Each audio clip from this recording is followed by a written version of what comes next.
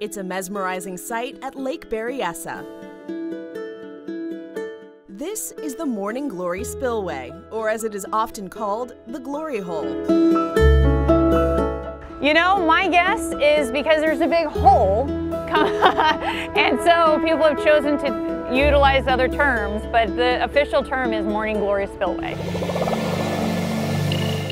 This watery vortex may look like a part of science fiction, but it is really just a big drain for the Monticello Dam. When the lake level rises above 440 feet, water starts spilling into the hole. It's all curved, so you have the least resistance for the water to go down the glory hole. And it's, it's very efficient. There's not, it's not very turbulent. It's actually rather, rather placid it's not that placid down inside the, the glory hole itself. The water drops 200 feet straight down before making a hard turn and spilling out into the Putah Creek below.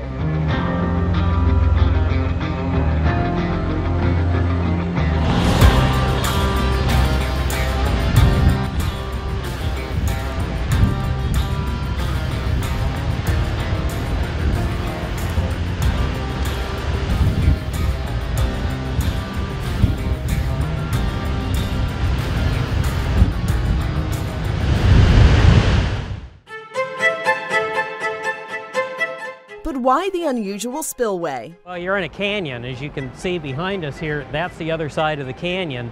We didn't have room to build a big channel and an overflow uh, berm like at Oroville. Big, wide, flat area, that's not here. This is the Devil's Gate in the canyon. Engineers also took advantage of a tunnel they had already built to divert Putah Creek during construction of the Monticello Dam. And that's the outlet of the tunnel they drilled to divert Putah Creek around the dam site when they were building it. Ah. And then when they were done building the dam, they needed a spillway. So they went over to where the Glory Hole spillway is and they tunneled straight down and tied in to the tunnel that had gone around the dam and then blocked up the upstream portion of it so that when the lake filled, it would spill down the spillway. Makes a hard right downstream, and that's what we see coming out down here.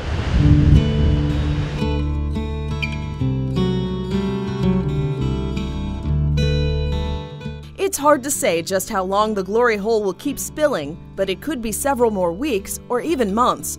It always depends on the watershed, the upper watershed, um, how much water we're going to see come through here. But it could be a few months. It could be a couple of months. Uh, in 2017, we had similar precipitation and it, I mean, we started in February and we went through May um, with, with spilling. So, I mean, it very likely could be that case this year again.